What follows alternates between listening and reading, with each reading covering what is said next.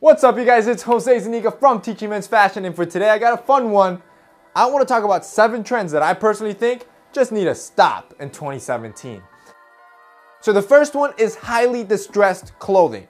And the key term there is highly. I have no problem if you want to wear some distressed clothing and a couple tears here for a disheveled look. If that's what you want, that's fine. But when you're wearing clothing that looks like it's falling apart and only one fourth there, I think we got a problem there. Not only that, for some reason, the more holes and the more tears and the more it looks like it's falling apart, the pricier it can get. Number two, joggers. Now before you go down there and write a hate comment, because you probably wear them and I wear them myself, I do want to clarify that I think it's a certain type of jogger. So I'm completely fine with tailored joggers for the gym or any type of like athletic or casual wear. That's fine. What I don't agree with is more of those dressy joggers that I call it, where you grab classic casual trousers like what would be a suit pant or what would be a chino and you turn them into a jogger. And it's like they say, if it's not broken, why are you gonna fix it? I think the chino looks perfect as it is. I think the jeans look perfect as they are. And I think trousers look perfect as they are.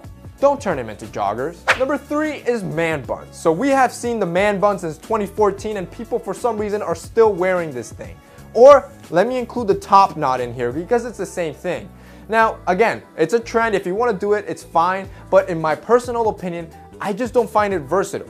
Not only is it just an overplayed trend that I would recommend to not jump in the bandwagon, but it's not a good versatile look. I think there are much more classic and versatile hairstyles that you can wear both casually and dressed up in a suit than a man bun, like a fade or a classic side part or a slick back. Now before we keep going, I do want to talk about a brand that I really love and the sponsor of today's video and that is Anson belts. So what Anson belt does is produce really high quality holeless belts, has an incremental slider in the back that allows you to, to seamlessly put on a belt and adjust it to almost any waist size and with your fluctuations through the day. So if you've never checked out Anson belts before, I really recommend the three strap and two buckle system. Since the buckles are interchangeable, it basically gives you six different belt options and a whole lot of versatility. So I'm gonna have it linked below so you guys can check it out. I'm telling you guys, you're really gonna love it. Number four is useless side zippers.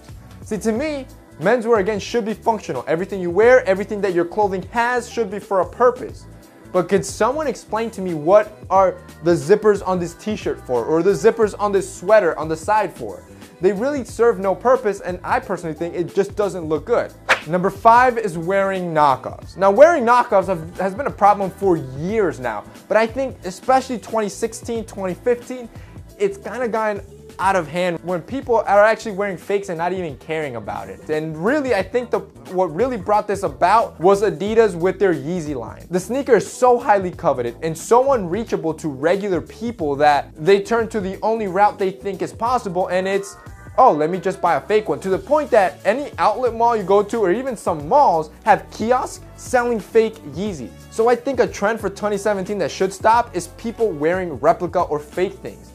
Honestly, if you like the style so much, find yourself some other type of Primeknit sneaker that closely resembles it instead of buying something that's fake. Even better, Adidas did you guys a solid and dropped a tubular model that looks almost identical to the Yeezy and you can buy that for like a hundred bucks and again, you won't be fake. Number six is another hairstyle trend and this is the hard part. I think this one went up at the same rate as the man bun around 2014. It was very popular and people I see still are doing that hard part. And what the hard part is, is where you ask the barber to basically shave a line into your head to give you a side part. Now, two reasons why I just don't think this is a good idea. One, it just looks too perfect. The great thing about a classic side part is that it doesn't have to look perfect, right? It can look a little bit messy if you want it to be or you can make it extremely perfect if you want that to be. But it's it's your skill set when you comb yourself and when you style your hair that will define the straightness of your of that part. And the second thing why it's not a good thing is that the maintenance involved with it. You, you pretty much have to go to the barbershop every week or every two weeks to clean that line up so it looks clean. Otherwise, your hair is probably gonna look like a mess. And finally, number seven is long line tees. Now, out of all the trends that I don't like, I think this is the least bad one since that trend of long line t-shirts is casual by nature and I understand that. But other than it not just making you look proportionate, keep in mind it makes your torso look super long and your legs look super short and stumpy, every time I see that trend, I just can't help to think what we as a generation are gonna say when we look back two, three years from now, how ridiculous that trend was. I mean, think about it. Long, oversized t-shirts isn't something that's new. And finally, quick bonus and trend number eight that I think we should just stop doing for the better of menswear is wearing belts with holes. Now, this one in particular is not a trend. It's more of just a norm that we've always done. We've always worn belts with holes. But in my personal opinion, something like the Anson belt, like I talked in the beginning,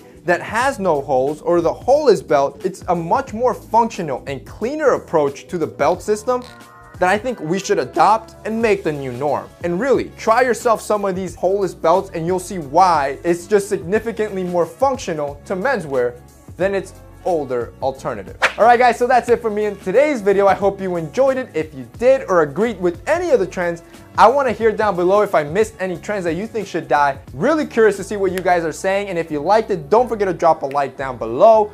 Also, don't forget to subscribe to our channel and to our second channel and turn on notification posts so you get these videos instantly every time we post them. So that's it for me in today's video. See you next time.